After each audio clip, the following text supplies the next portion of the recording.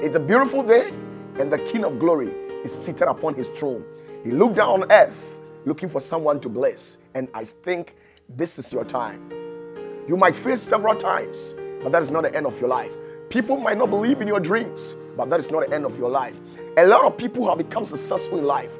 The great people in our society, they become optimistic about the future. The only Spartan discipline that you can emblematize is the art of courage. Master the art of courage and get along with it.